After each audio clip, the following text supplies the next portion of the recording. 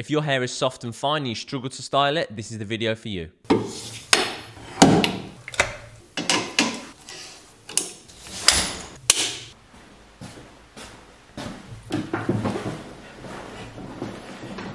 Hi guys, thanks for clicking on the video. My name is Elliot Forbes, a head barber at the Muhle Treatment Space in London. If you're new to the channel, it's dedicated to hair, beard and grooming tips for the modern man and ASMR style shaving and haircuts. This week's hair icon is Christian Bale. The product of the week is the Volume Mousse from Shu Uemura. And as we mentioned, we're talking about how to style fine hair. So stick around for that, which will be in the third part of the show. But as a little warm up, let's get into my favorite TikTok of the last week. This is my best friend Connor, and as you can see, he was in desperate need of a haircut and a beard trim. Normally, has it a bit longer at the front push it up into a quiff, but today we changed all of that. I cut the top a lot shorter, used a razor on the fringe to take that way short so it has a real broken up texture to it. The back and sides I took it down to a 3 and then faded the sideburns and the neck all the way out to the skin. Head on over to my Instagram page now to see the transformation photos of wildebeest to chunky hunk. Have a great rest of your day guys, much love. Think I'm going to put a lot more hair hair related content out of me actually doing haircuts. Because even then on the comments on that, there's a load of comments saying, oh, I didn't realize you were a barber. So you're a barber then, are you? I want to make sure that people do know that I'm a barber and not just that I shave all the time. So yeah, definitely more hair related content coming when we can actually open up the barbershops again. So, Christian Bale, top five haircuts. In at five, this is the longest I've seen his hair actually. I think it looks really soft, really loose. There's a nice bit of texture at the bottom of it. And he's got a little bit of lift at the root. And I think this looks great. In at four, iconic movie, iconic hair, and this Patrick Bateman look. Just something I would definitely picture of what it would look like in New York back in the day. It's probably really quite a similar length the whole way over, slicked back. It's quite long through the back actually when you actually look at it now compared to a lot of hairstyles. Quite a heavy product so that it can push back and just a, an iconic look. In at three, the look from Batman. Not too dissimilar to the last look, but it's got a real refined look to it. It's not wearing such a heavy product in there. It's a bit softer, something like a cream just to be able to just so that it can just flow back nicely. When I look at this, I think this has a real sort of expensive look to it. I think it exemplifies Bruce Wayne, obviously being the rich man. I think this haircut, it has a real rich feel to it. In it too, if you took this photo now and Ted told me it was in 2021 and some of the guys that are on TikTok, it's that sort of same look. Curtains really loose through the front, really nice amount of texture to it. Just enough weight so that it kinks out just a smidgen at that back area.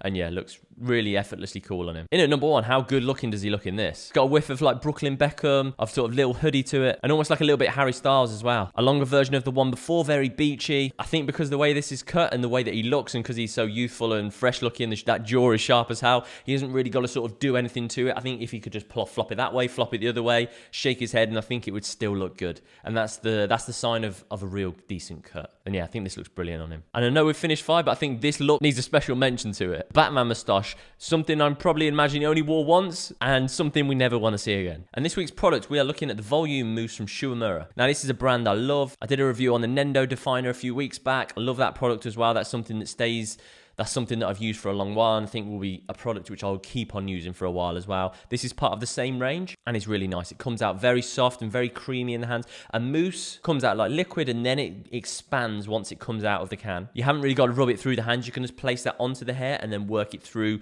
damp hair. You want to make sure that it is the hair's on the wetter side as opposed to be too dry. Some mousses, if you're not too careful, can go a little bit crispy, but they're great if you want to try and get a bit of volume in the hair. They really work from the root and they're very good at setting the style into place. Say if you were to compare it to like a sea salt spray, that would still give it a little bit of texture and body at the end. Whereas now you can see where the way I've blow dried this, it almost sets it into place. I can pull it down, I can lift it back up and it will go back into that same shape. Has a real good memory to it. As you can see, it's really quite bouncy. And generally, I, I think mousses are, are really quite versatile. You can use them in quite a lot of different types of textures of hair. Say if you had hair on the curlier side, you can put this in, you could diffuse dry it. It would have a bit more of a, a crispier feel to it, but then you could just pull it out with the, with the comb to then let the volume and the curl come out a little bit more. So mousses are something that everybody should try, and there definitely would be a mousse that you'd be able to find for yourself that would work well. This one is very nice. It's very silky. Has a lovely scent to it. Sometimes they, I think mousses can smell a little bit chemically, but the smell of this is the same scent that goes through the whole range of the products that they have at Shu Uemura. And yeah, if you want to try a mousse, definitely a mousse I'd recommend trying.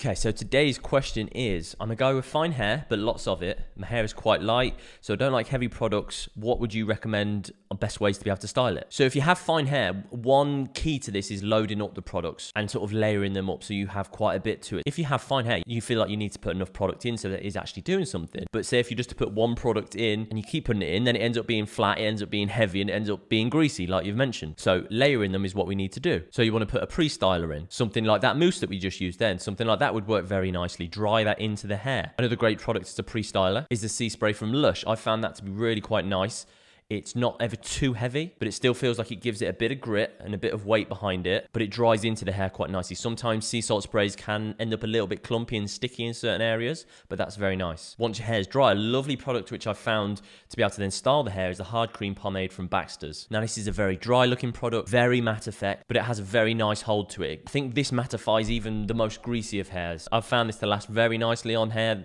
like yourself. On my hair, it almost looks a little bit too matte. And a little goes a long way with this product is what I would say. It's got a lovely scent to it.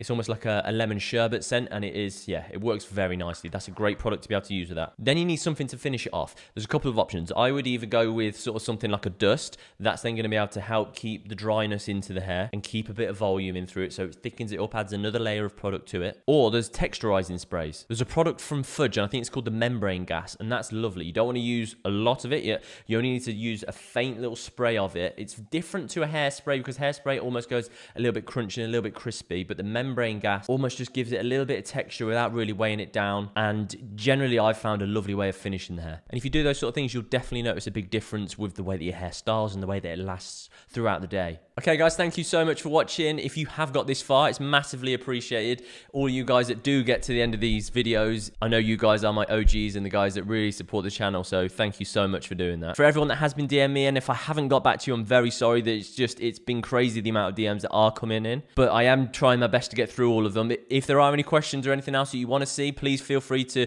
drop a comment down below or send me a DM. I'm, I'm going to continue to keep trying to get back to everyone. Thanks all for watching. Have a brilliant rest of your day. Much love, Elliot. Boom.